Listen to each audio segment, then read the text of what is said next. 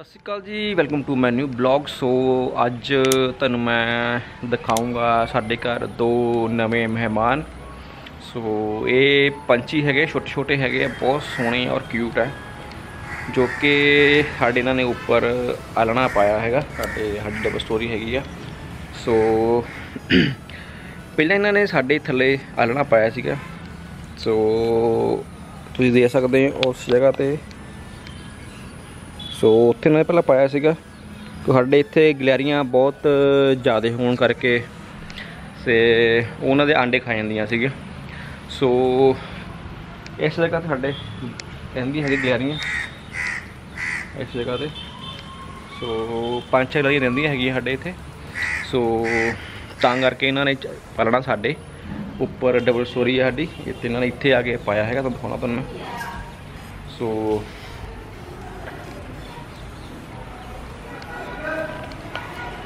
ਇਹ ਇਹਨਾਂ ਨੇ ਇੱਥੇ ਆਲਣਾ ਪਾਇਆ ਹੈਗਾ। ਤੁਸੀਂ ਦੇਖ ਸਕਦੇ ਹੋ, ਬਹੁਤ ਸੋਹਣਾ ਆਲਣਾ ਬਣਾਇਆ। ਵਿੱਚੋਂ ਐਨ ਗੋਲ ਆ ਪਹਿਲਾਂ ਇਹ ਹਰਾ ਸੀਗਾ, ਹਰੇ ਹਰੇ ਪੱਤ ਇਹਨਾਂ ਨੇ ਲਿਆ ਕੇ ਘਾਹ ਤੇ ਹੁਣ ਇਹ ਸੁੱਕਣ ਲੱਗ ਪਿਆ।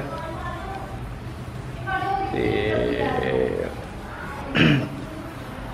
ਅਸੀਂ ਵੀ ਇਹਨਾਂ ਨੇ ਕੁਝ ਨਹੀਂ ਕਹਿੰਦੇ, ਚਲੋ ਪਾਉਂਦੇ ਤਾਂ ਪਾ ਲੈਣ ਦਿਓ। ਕਿਹੜਾ ਕੋਈ ਨੁਕਸਾਨ ਕਰਦੇ ਹੈਗੇ ਸੋ ਦਰਖਤਾਂ ਦੀ ਘਾਟ ਕਰਕੇ ਦੇਖੋ ਬ- ਇਹ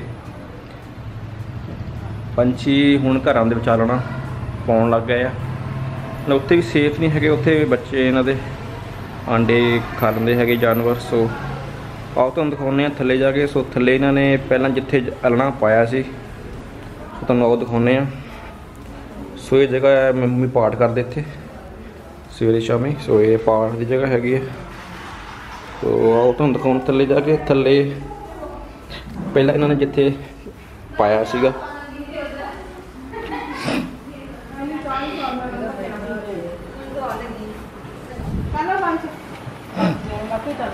ਹਾਂਜੀ ਭੈਣ ਜੀ ਤੁਸੀਂ ਕਿਹਨੂੰ ਮਿਲਣਾ?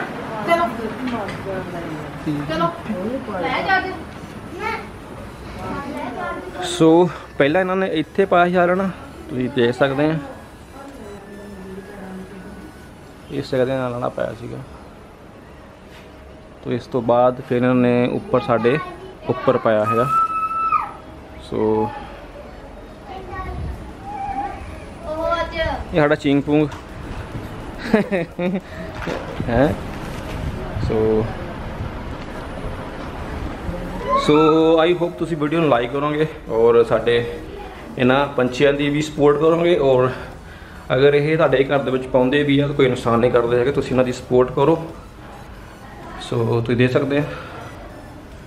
ਇਹਨਾਂ ਨੇ ਥੱਲੇ ਪਹਿਲਾਂ ਇੱਥੇ ਬਹੁਤ ਖਲਾਰਾ ਪਾਇਆ ਇੱਥੇ, ਇਸ ਇਸ ਜਗ੍ਹਾ ਦੇ ਵਿੱਚ। ਇੱਥੇ ਇਹਨਾਂ ਨੇ ਬਹੁਤ ਘਾਹ ਖਿਲਾਰਿਆ ਸੀ, ਪਰ ਅਸੀਂ ਸਾਫ਼ ਕਰਤਾ, ਚਲੋ ਕੋਈ ਗੱਲ ਨਹੀਂ। ਹੈ?